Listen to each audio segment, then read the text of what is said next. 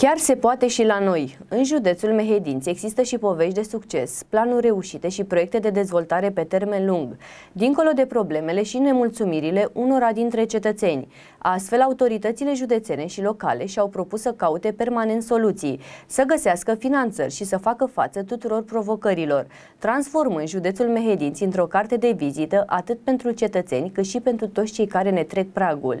Prin multă muncă, respect și drag față de județul nostru, autoritățile județene prin Consiliul Județean Mehedinți, instituție condusă de președintele Aladin Giurgescu, au reușit treptat să transforme zona de sud-vest a Olteniei, reușind să atragă investiții în infrastructura rutieră, infrastructura spitalicească, dar și în cea educațională. Drobeta Turnu Severin era un oraș unde pe cele mai multe străzi nu s-a intervenit timp de zeci de ani cu rețele de apă și canalizare învechite și cetățeni fără nicio speranță de mai bine iar primarul municipiului Marius Creciu, prin multă muncă și perseverență, a reușit să transforme în totalitate fața întregului oraș. Schimbările în bine la nivelul întregului județ se văd și asta o spun chiar cetățenii, care sunt extrem de încântați de modul în care a înflorit întreaga zonă. În acest moment, județul Mehedin și implicit Drobeta Turnu Severin, orașul nostru, este într-o continuă modernizare și reabilitare. Cum vi se pare dumneavoastră acest lucru?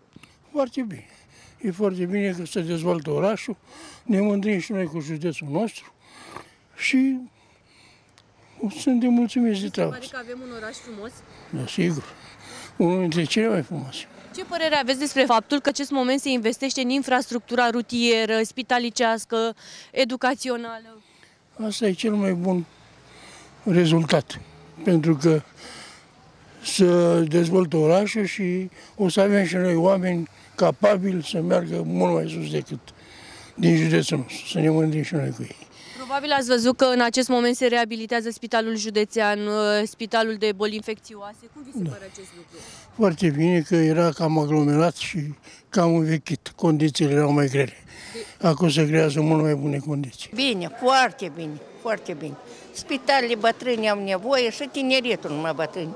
Grădinițele nevoie pentru copii. Deci vi se pare un lucru bun faptul că se renovează spitalul județean? Spre? Da, foarte bine, foarte bine. Primul nostru spital care ne-a salvat viețile de atâtea ori. E bun, e bun, e foarte bine. Și cu județeanul, eu am lucrat în județean. Și e foarte bine că se renovează și grădinițe pentru copii să fie deci vi se pare foarte important faptul că se fac investiții în infrastructura educațională și spitalicească? Da, da, da, da, să se facă. Să se facă, dacă până acum nu s-au făcut, să se facă măcar de acum înainte. Municipiul Drobeta Turnu Severin, implicit județul Mehedin, se află într-o continuă modernizare și reabilitare. Cum vi se pare dumneavoastră acest lucru? Bă, e frumos, e bine. Dacă face asta, e o treabă bună.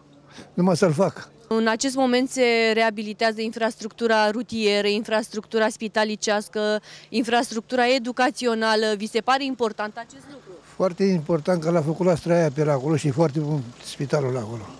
Uh, și spitalul din Drobeta Turnu Severin, spitalul județean. Știu, știu, știu, am fost acolo, e foarte bun și acolo, e frumos, îmi place ce a făcut. Deci vi se pare un lucru foarte bun faptul da. că se renovează da, spitalul? Da. Totodată, județul Mehedinți este extrem de bine reprezentat în Parlamentul României de senatorul PSD Mehedinți Liviu Mazilu, de deputatul PSD Mehedinți Alin Chirilă, dar și de secretarul de stat Bogdan Simcea, aceștia aducând un plus valoare județului nostru. Autoritățile județene și cele locale acordă o atenție deosebită tuturor domeniilor. Se desfășoară lucrări de reabilitare, dotare și modernizare în infrastructura spitalicească, educațională și rutieră, astfel încât mehedințenii să aibă parte de servicii rapide și de calitate superioară.